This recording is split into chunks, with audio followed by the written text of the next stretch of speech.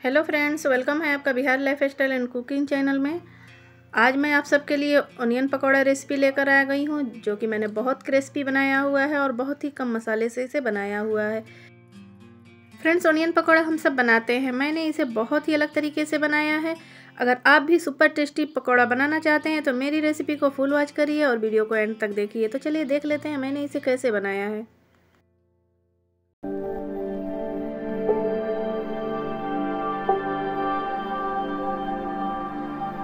इस रेसिपी को बनाने के लिए मैंने चार पीस ऑनियन को अच्छे से चॉप कर लिया है और दो से तीन ग्रीन चिली लिया है यहाँ पे, नमक लिया है एक चम्मच, आधा चम्मच ब्लैक पेपर और आधा चम्मच कश्मीरी रेड चिली इसमें ऐड कर रही आधा चम्मच हल्दी पाउडर और दो चम्मच बेसन। बेसन इसमें कम ऐड करना है। एक चम्मच के अंदाज से इसमें पानी को ऐड करेंगे और बराबर से मिक्स करेंगे। ऑनियन इसमें ज़्यादा रखना है। आप देख सकते हैं, मैंने इसे अच्छे से मिक्स कर दिया इसे फाइव मिनट के लिए रेस्ट पे रख देंगे। अगर आपके पास टाइम ना हो तो दो मिनट के लिए रेस्ट पे रख सकते हैं। मैंने इसमें कोई बेकिंग सोडा ऐड नहीं किया है। फिर भी ये बहुत क्रिस्पी बनेगी। इसे फ्राई करने के लिए मैंने पैन लिया है। इसमें एक कप ऑयल को ऐड करेंगे और इसे अच्छे से गर्म कर लेंगे। मैं यहाँ रिफाइन ऑयल का यूज़ कर रही इसे अच्छे से गर्म करके पकौड़े को हम इसमें ऐड कर लेंगे। आप अपने चॉइस के मुताबिक पकौड़े को छोटे बड़े साइज़ का बना सकते हैं। इसे मीडियम टू लो फ्लेम पे दोनों साइड से पलटते हुए क्रिस्पी सा फ्राई कर लेंगे। फ्रेंड्स, आप देख सकते हैं, मैंने पकौड़े को इसमें ऐड कर दिया है। बहुत ही सुपर टेस्टी ये पकौड़ा बनता है। अगर इस रेसिपी को आप फॉलो करके बनाएँगे तो बहुत टेस्टी आपका भी पकौड़ा बनेगा।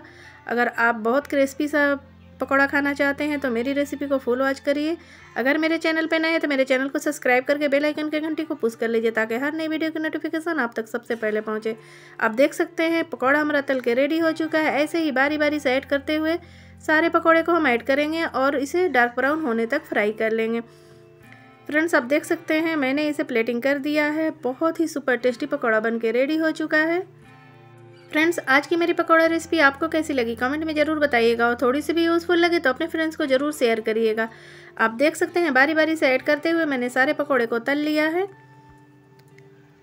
फ्रेंड्स, अगर आप भी क्रिस्पी सा पकौड़ा बनाना चाहते हैं तो इस रेसिपी को एक बार ज़रूर ट्राई करिए। मैंने बहुत सारे पकौड़े को फ्राई कर लिया आप देख सकते हैं, बहुत ही क्रिस्पी बना है और बहुत सुपर टेस्टी दिख रहा है। तो फ्रेंड्स, आज की मेरी रेसिपी आपको कैसी लगी? कमेंट में ज़रूर बताइए। आज के लिए बस इतना ही। फिर मिलती हूँ नई वीडियो में नई रेसिपी के साथ। अपना ख्याल रखिएगा दो में याद रखिएगा। अल्लाह हाफिज़।